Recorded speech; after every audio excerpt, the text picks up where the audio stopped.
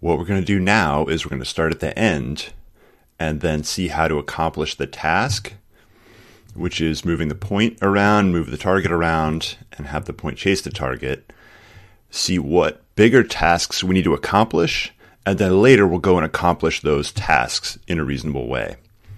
So here we're looking at public static void main. So I have a boolean to turn on or off chase mode right here. And again, let's go ahead and run this so you can see what this is chase mode is true. The point's going to chase the target. Now, in this version, I don't have the target move to a new location, but you can see the distance value up here. Let's go ahead change this to false and run it. You're going to see the point just move around. The point does get a label on it and just went off the screen, but the point has a label that moves with the point. It's moving different than it was last time. I have a method called create drawing panel, which does several things. Uh, you'll see this later, but it will create the drawing panel, set the background, and do, I think it zooms it as well. Made a new random object. We need this to place the point and the target randomly on the screen. Here I create two points. One is called dot, the black dot. One's called target, the red target. Now the reason I have speed right here uh, different from dx and dy is because the vertical and horizontal speed won't always be the same. So sometimes uh, the dx is the horizontal speed, dy is the vertical speed, and the actual speed right here is just a number. It's a positive value. I think I set it to two.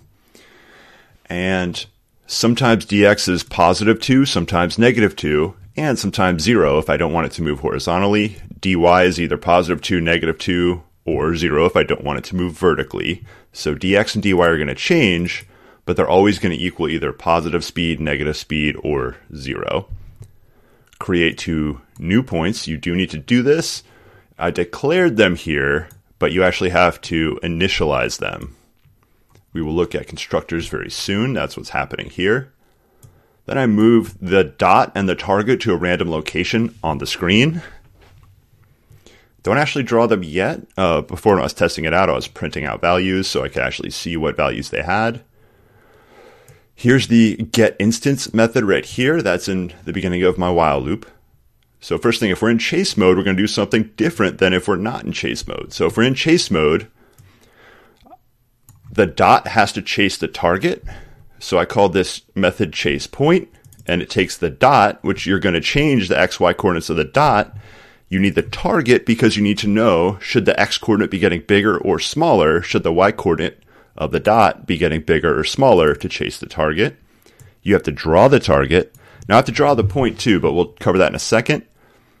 I did also create this label draw label method, and what that does, it will draw the distance between the dot and the target.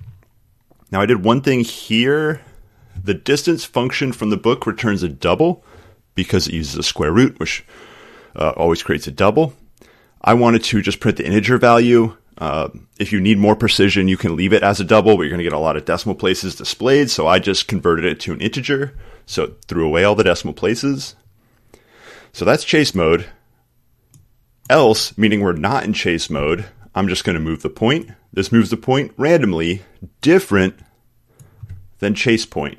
Chase point makes the dot chase the target. Move point doesn't care about the target. It just moves the point randomly. You do have to make sure it doesn't go off the screen. We'll cover that later. Here's something different. I labeled the point, and if you remember, it had the XY coordinates labeled and moved with the point.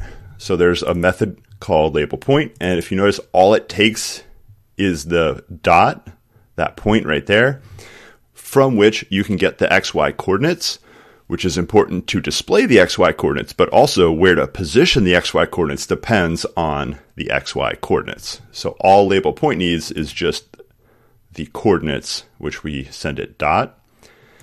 The reason I did draw a point down here is because if you're in chase mode or not in chase mode, it doesn't matter. You have to draw the point. But for example, I only did draw a target if we're in chase mode. All right, that was quite a bit right there. No matter what is happening, I slept the, the panel.sleep for a delay, and you can see that value somewhere up here. We'll check the values 10 milliseconds, so one tenth of a second, uh, or hundredth, I don't know, uh, 10 thousands. Uh, so, and then I erase the panel. We're going to look at what these do, but we'll do that later. First, let's look and see what these are all fields up here. They're static fields. Oops, those aren't fields. These are fields right here. All right, the reason I created these up here is if you don't have them up here, if I declared all of these in the main method, inside the main, I would have to, I wouldn't be able to access them from the other methods. And what I would have to do is send whichever of these I needed as parameters to these methods. So for example, I use background color when I create the drawing panel.